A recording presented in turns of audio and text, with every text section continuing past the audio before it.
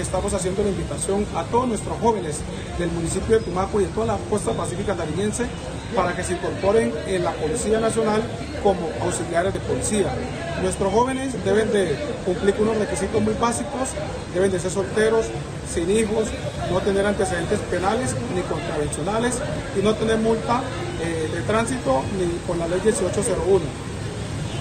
¿Qué documentación deben de llevar nuestros jóvenes? Deben de llevar copia de la cédula de ellos, copia de la cédula de los padres, registro civil, diploma y acta de grado.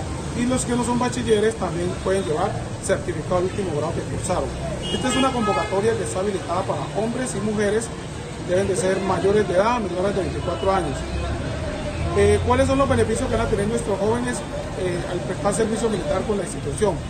Eh, los que no son bachilleres les vamos a dar la oportunidad para que terminen su bachillerato dentro de la institución, van a tener derecho a una bonificación mensual que está en el promedio de 600 mil pesos.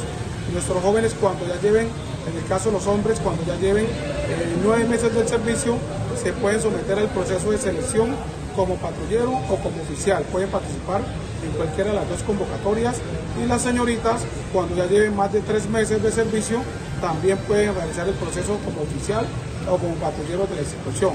Esta es una experiencia muy bonita, muy bonita, una experiencia única en la cual les permite a nuestros jóvenes proyectarse dentro de la institución para que continúen y hagan realidad su sueño de ser policías.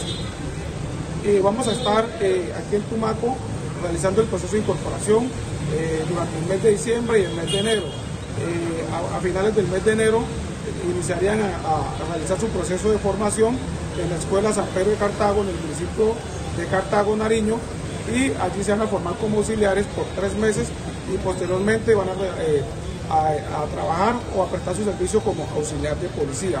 Es una experiencia, como les digo, jóvenes, aprovechen esta oportunidad que les brinda la policía para que hagan realidad su proyecto de vida entre ellas. Y no se olviden, es un honor ser policía.